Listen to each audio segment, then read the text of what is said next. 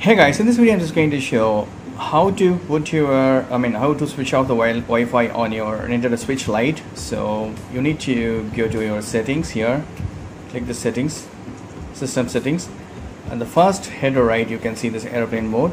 So just come down and choose this and here right you need to switch off the Wi-Fi or switch off the so you can switch off the Wi-Fi or switch on the Wi-Fi. So on or off.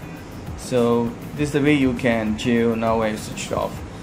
That's it. Hope this video is very much helpful. Thank you so much for watching. Please provide comments and feedbacks and thank you. Bye